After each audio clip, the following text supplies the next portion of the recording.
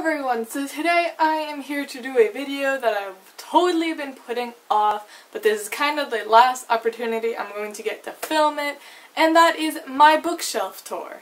I am going to college in September, like I've been saying in every single video ever, and when I leave, my parents are going to be moving to a new house, which means these books and bookshelves and everything are going to be getting packed up, uh, probably within the year or so, to move to a different house, and by then I'll probably reorganize them in a new way. So, um, I figured this was kind of my last opportunity to show you guys these shelves. So I have three bookshelves. I have this one, I have this little skinny one, and I have one in my closet. And for the most part, it is organized as series, standalones, and overflow shelves, which are books that I want to keep but they just simply don't fit or like I don't care about them enough or they're a really big series or something like that. An overflow shelf. Books I want to keep but I just don't have room for. They have been organized like this for quite a while. Um, I will, every once in a while, I'll like reorganize like each individual shelf to make it either a rainbow or like authors or just however I find aesthetically pleasing. Right now they aren't really in any particular order. They're kind of separated by genre, but I have had this shelf as series, this shelf as standalones, and that shelf as overflow for months now. So this is kind of an accurate representation of what these shelves have been in my videos. But anyways, enough rambling. I'm going to get right on in to showing you guys my bookshelves. Alright, so here is a quick overview of my bookshelf. Um, honestly, it is usually quite a bit more full than this, as well as a bit more organized. But because I have so many books in boxes to go to college, they are looking a little sparse and also a little less organized than usual. But starting at the top, here we have my manga collection. I'm not to go up there and show you guys each thing because they're totally buried on top of each other. But obviously I have quite a lot of Naruto, that is my favorite series. I also have a lot of D. Gray Man. I love Tokyo Ghoul, which is why it's on display over there. Also over here we have my Death Note, uh, Black Butler, Fullmetal Alchemist, my Clamp, and Vampire Knight and Ouran High School Host Club. So yes, and also this is where my mugs and uh, candles and stuff that don't really fit on my shelf go, just to make it look a little more decorated.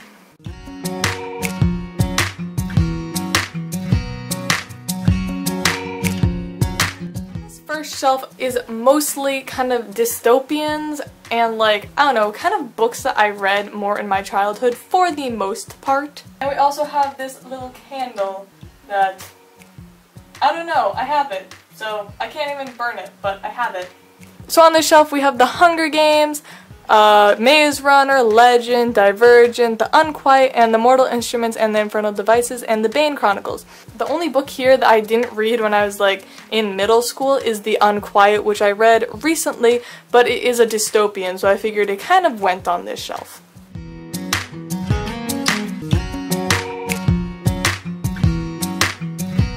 Moving down, we are kind of going into fantasy slash urban fantasy slash like, I don't know, just kind of fantasy, I guess. Not really high fantasy yet, except for a couple of books, but like sort of fantasy. Also over here we have my little elephant piggy bank that my grandma made me. It's full of change right now, which is great. And on this shelf we have the Riyria Revelation series and its prequel series Captive Prince, Lord of the Rings, Daughter Smoke and Bone, the Graceling Realm trilogy, uh, the Raven Boys, and the Scorpio Race is also by Maggie Stiefvater, but that's a standalone, but it's there because it's with Maggie Stiefvater. The Rose and the Dagger and the Dawn and the Wrath on the Dawn, and then all of Cassandra Rose Clark's books that I have.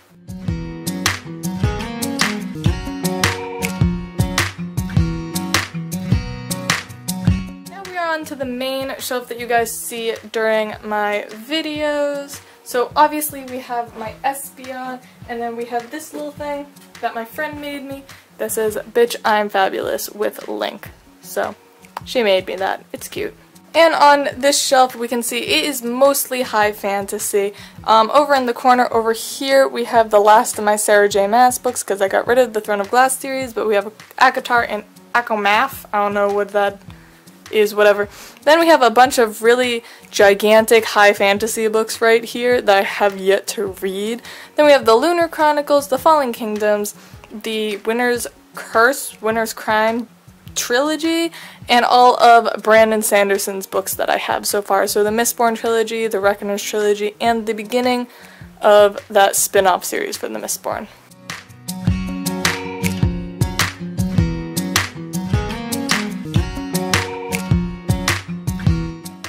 Onto this shelf, this is kind of, I don't really know, kind of fantasy, kind of sci-fi, kind of Rick Riordan, you know. And on this shelf we have my mug of bookmarks. It's a Naruto mug. I got it at a like thrift store kind of thing, so I don't know where you can get this. I have all my bookmarks. I don't use bookmarks very often, but when I do, it's these. And on this shelf we have the first five books of the Harry Potter series because those are mine. I don't have the last two because I haven't found them for cheap yet and I'm not buying them full price. Then we have the Eon Duology, the Chaos Walking Trilogy, the Unwind Dystology, and then all of Rick Riordan's books that I have. I don't really care about his new books that much, um, especially because I didn't even care that much about this like spin-off series right here. I just love Percy Jackson a lot. So I have the Percy Jackson series and the spin-off series from that, but I don't have any of his newer books.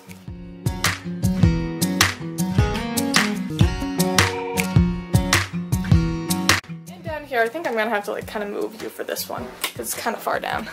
Ah, yes, here we go.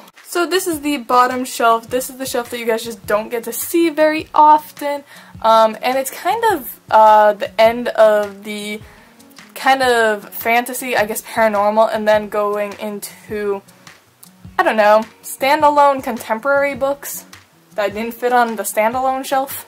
And the only knickknack on this shelf is this candle. It's a fake candle with a light in it because I can't actually burn real candles because I'm allergic to smoke. Um, and my friend got me this, so thank you. So on this shelf, obviously, we have my Twilight series, my babies, and the new one, woo! We also have the host right over here, but it's separated by this one book called Beastly by, I don't know who it's by, but because it's black, so it kind of fits. Then we have all the light we cannot see, and then just tons of contemporary books, and then like the Night Circus and Warm Bodies is mixed in there, and like the Golem and the Genie. So, and Ready Player One. So this is just kind of a mess, but I thought it looked nice, which is why it's like this.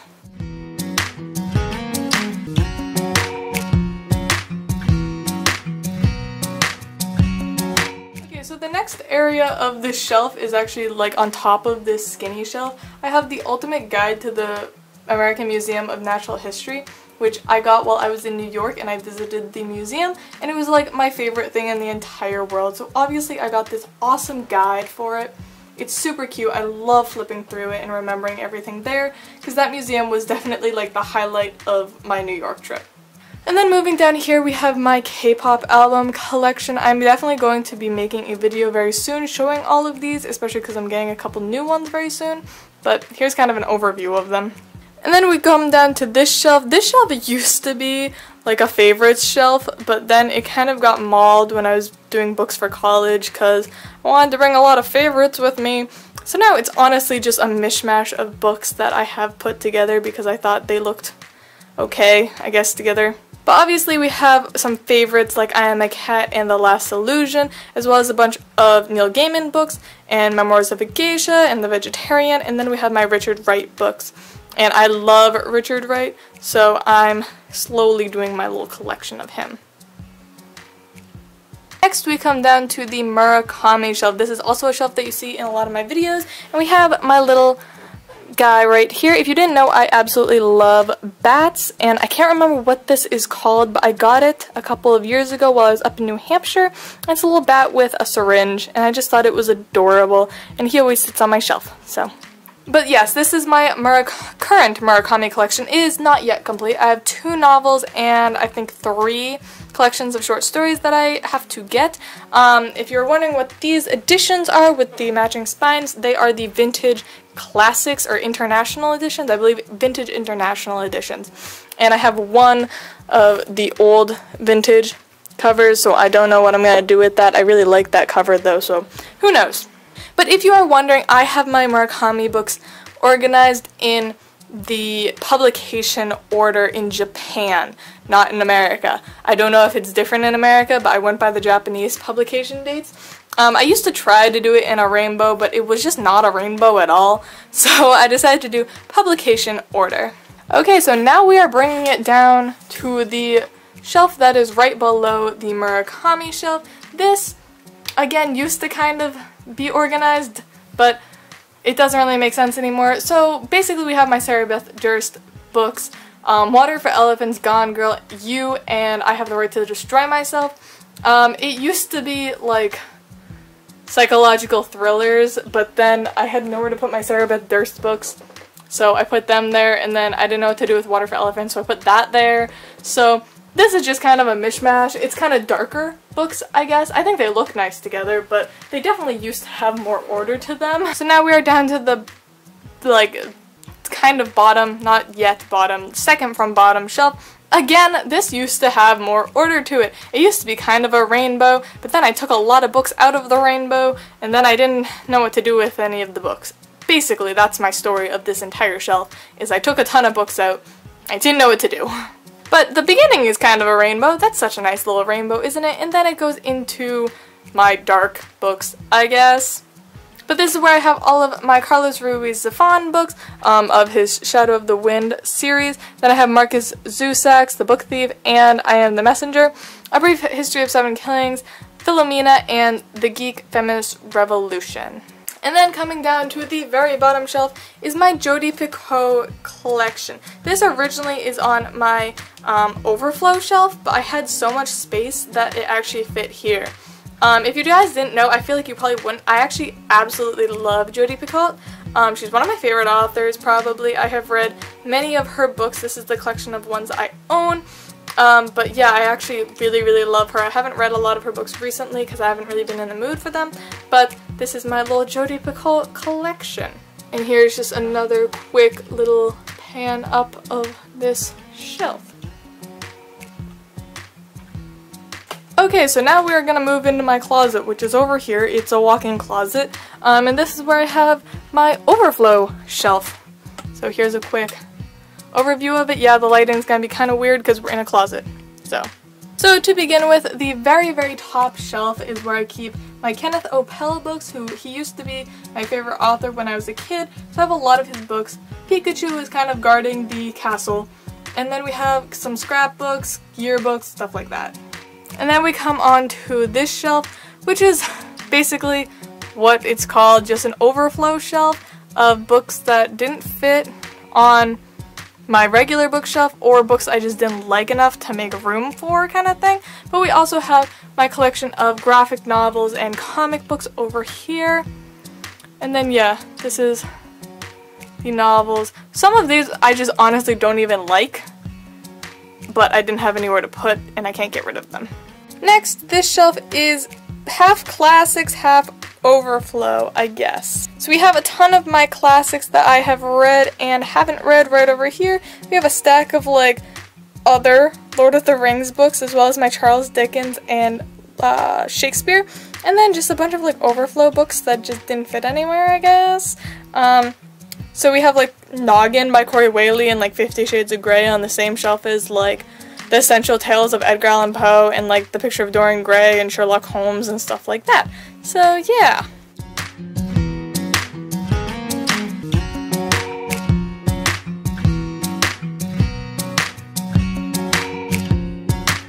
Okay, so the next shelf that we have is mostly childhood books. Most of these are just books I read in my childhood, except for we have Armada over there and Picking Cotton, which I just didn't know where to put. But like we have all of my Darren Shan books. I feel like a lot of people actually have no idea that Darren Shan is my literal bae.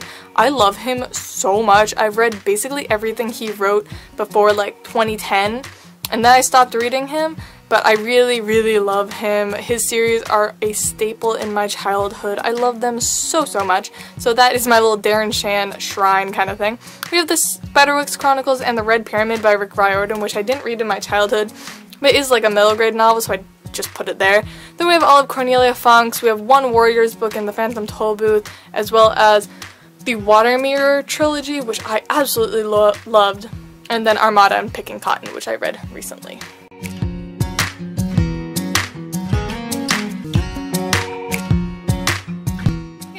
We are on to this little shelf that is not completely filled. Over here we have my very small collection of movies. I don't really watch movies, but every once in a while people will get me them as like Christmas presents or birthday presents, and I do watch them.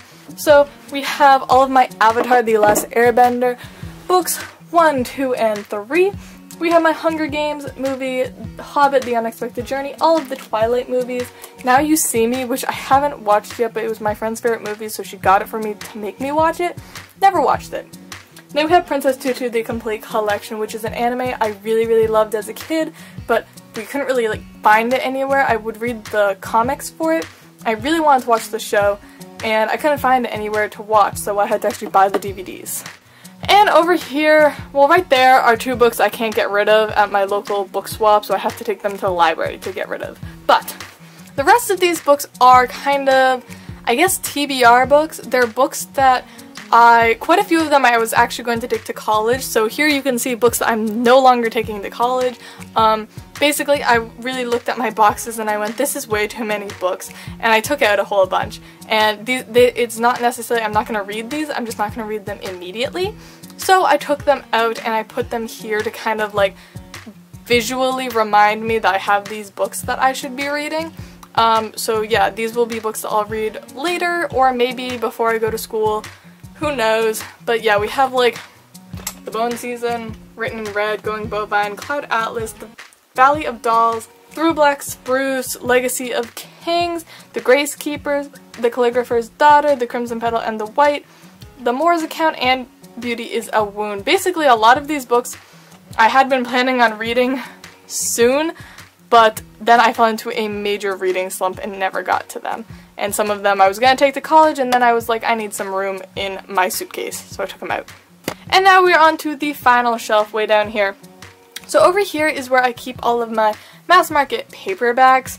Um, I hate mass market paperbacks, so I actually this entire shelf used to be full of them, but I got rid of a ton of them because I just I can't stand mass market paperbacks. And over there we also have just two like smaller books, which is Tuesdays with Morrie by Mitch Albom, The Perks of Being of, Wall of Wallflower, then we have Garth Nix' Sabriel trilogy, um, Marie Moning's Fever series, Dune, and Dune Messiah, which I have yet to read, and the entirety of the Game of Thrones books, which I have bought and also got as like presents quite a few times, but um, I have yet to read them. I honestly don't even know if I'm ever going to, so I might get rid of those. So, and over here we have kind of textbooks, um, as well as like photo albums and yearbooks and stuff like that. So we have like my sign language textbooks, my German textbooks and German novels, um, my notebooks, my Korean textbooks. We have my yearbook, which I, yes, I covered up the name of my high school because, you know. And then we have a photo album. So yeah, this is basically like my little corner of books that are actually for like learning or like memory keeping and stuff like that. So yes, that is the entirety of my overflow shelf. Here is another quick overview of it. Anyways, I hope you guys all enjoyed this bookshelf tour. I know every booktuber ever puts one of these up, but I always enjoy watching them, so I figured you guys would enjoy it too. Sorry if you wanted me to pull out every single book, but I find that those are kind of tedious. So I figured just like an overview of these shelves would be good enough. So again, I hope you guys enjoyed this video. And I love you all and I'll see y'all soon. Bye!